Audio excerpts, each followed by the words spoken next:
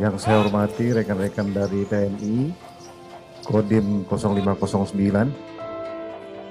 Mari kita sama-sama manjatkan puji syukur kehadirat Allah taala yang telah memberikan kita semua limpahan rahmat serta karunia-Nya.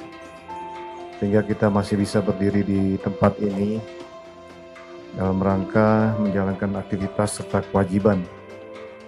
Insya Allah kewajiban yang mulia yang bisa kita laksanakan hari ini. Uh, hari ini kita sedang persiapan untuk melaksanakan baksos. Rencananya baksos ini akan kita berikan dalam bentuk natura, sembako, sejumlah 1.800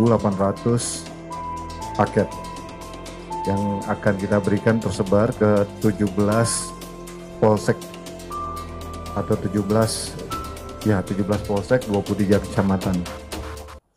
Kemudian sasaran pada yatim piatu, kaum duafa, kaum miskin, fakir miskin, kemudian marbot atau uh, pengurus tempat ibadah, kemudian juga orang-orang yang terdampak COVID lainnya. Kegiatan ini insya Allah bekerja sama dengan TNI Polri sebagai garda terdepan.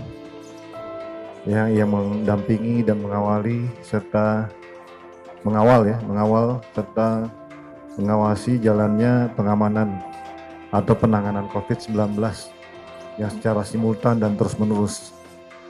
Alhamdulillah kinerja TNI dan Polri saat ini sangat dinilai baik dalam penanganan COVID. Dan tentunya kita ketahui bersama bahwa dari penilaian ya, masyarakat di berbagai survei bahwa kegiatan yang dilakukan oleh TNI Polri ini mendapatkan kepercayaan yang luar biasa dan penilaian yang luar biasa. Dan ini bukan penilaian yang istilah anak mudanya kaleng-kaleng, enggak beneran. Beneran dan kita lihat hampir segala penjuru, mulai dari Sabang sampai Merauke, bahkan di tempat kita mulai mulai Muara sampai dengan